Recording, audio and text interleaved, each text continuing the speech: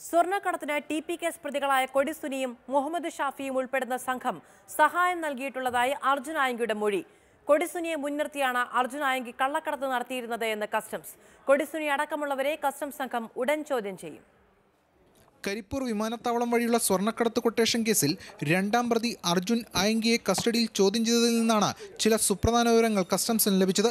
T P Chandrasekharan വധക്കേസ് പ്രതി കൊടിസുനി മുഹമ്മദ് ഷാഫി എന്നിവർ സ്വർണക്കടത്തിന് സഹായം നൽകിയിരുന്നതായി അർജുൻ കസ്റ്റംസിന് മൊഴി നൽകി. സ്വർണം തട്ടുന്നതിനടക്കം ഇവർ സഹായിച്ചു. ഇതിന് കൃത്യമായ പ്രതിഫലം അവർക്ക് നൽകിയിരുന്നു. തന്നെ ഒളിവിൽ കഴിയാനും സുനിയും ഷാഫിയും സഹായിച്ചെന്ന് അർജുന്റെ മൊഴിയിലുണ്ട്. കൊടിസുനിയെ മുൻനിർത്തിയാണ് അർജുൻ സ്വർണക്കടത്ത് ആസൂത്രണം ചെയ്തിരുന്നതെന്നാണ് കസ്റ്റംസിന് വ്യക്തമായത്.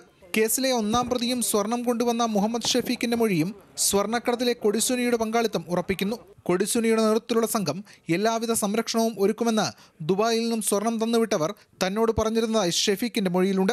ഈ സാഹചര്യത്തിൽ കൊടിസുനി ഷാഫി തുടങ്ങിയവരെ കസ്റ്റംസ് ഉടൻ ചോദ്യം ചെയ്യും. ചൊവ്വാഴ്ചയ്ക്ക് ശേഷമാകും ഇതുണ്ടാവുക. അർജുൻ ആദ്യം ചോദ്യം ചെയ്യലുമായി സഹകരിച്ചിരുന്നില്ലെങ്കിലും തെളിവുകൾ നിരത്തിയുള്ള വിശദമായ ചോദ്യം ചെയ്യലിൽ ചില കാര്യങ്ങൾ കസ്റ്റംസിനോട് വെളിപ്പെടുത്തിയതായാണ് വിവരം. അതിനിടെ ടി പി കേസ് പ്രതികളാണ് സ്വർണക്കള്ളക്കടത്തിന്റെ മുഖ്യ സൂത്രധാരന്മാരെന്ന് K K Rama M L A പ്രതികരിച്ചു. സർക്കാർ തണലിലാണ് ഇവർ കൊട്ടേഷൻ നടത്തുന്നതെന്നും രമ പറഞ്ഞു. ഈ കേസിന്റെ എല്ലാ പിന്തുണയും പാർട്ടിയുടെ ഭാഗത്തുനിന്ന് കിട്ടുന്നുണ്ട് എന്നുള്ളതാണ് ഇവർക്ക് ഈ പ്രവർത്തനത്തിന് കുറച്ചുകൂടി വളം വെച്ച് നൽകുന്നത്.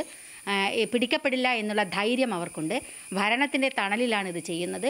അതിന് വളരെ ശക്തമായ അന്വേഷണം വേണം. അതിനിടെ കസ്റ്റഡി കാലാവധി അവസാനിക്കുമ്പോൾ അർജുനെ കോടതിയിൽ ഹാജരാക്കുന്ന സമയം. സ്വർണക്കടത്ത് റാക്കറ്റിൽ ഉൾപ്പെട്ടവരെ സംബന്ധിക്കുന്നതടക്കം കേസുമായി ബന്ധപ്പെട്ട ചില നിർണായക വിവരങ്ങൾ കസ്റ്റംസ് കോടതിയെ അറിയിക്കും. സ്വർണക്കടത്ത് കേസുമായി ബന്ധമുള്ള മുപ്പതോളം പേരെ സംബന്ധിക്കുന്ന വിവരം കസ്റ്റംസ് ശേഖരിച്ചതായാണ് വിവരം. കേസിൽ കൂടുതൽ അറസ്റ്റിനും ഉടൻ സാധ്യതയുണ്ട്. മാതൃഭൂമി ന്യൂസ് കൊച്ചി.